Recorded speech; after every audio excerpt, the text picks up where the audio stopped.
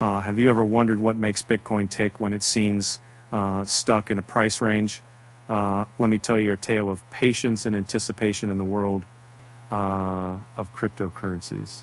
Uh, once upon a time, in the bustling realm of digital assets, Bitcoin found itself comfortably nestled between sixty-seven and seventy thousand dollars. Uh, the weeks leading up to the weekend were filled with whispers among traders about an impending major shift. Yet the crypto markets remained calm, displaying minimal volatility despite ending the month on a down note. Why was there such uncertainty in the large? Uh, from uh, now, let me take you back a year ago when the Bitcoin trading volumes took a nosedive, plunging by over 80%. But fear not, these market participants had simply spired amass their tokens, eagerly awaiting the perfect moment to strike. They patiently waited for the price to surge closer to the coveted $100,000 mark. Such unwavering faith Bitcoin price afloat, even as it defended its support against potential dips.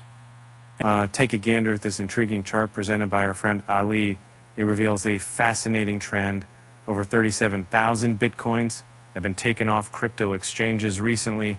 Could this explain why the Bitcoin price didn't experience the drastic drop some analysts had forecasted? Moreover, the spot Bitcoin ETF volume has surged dramatically, purchasing a whopping $58.6 million worth of Bitcoin in just five months. With these positive indicators, the future looks bright indeed. Uh, but wait, there's more. Uh, Bitcoin managed to close yet another monthly candle above its former resistance level.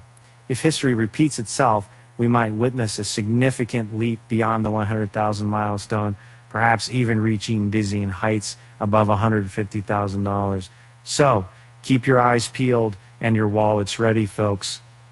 And now, for a little levity amidst all this excitement, why did the Bitcoin cross the road to get to the other blockchain?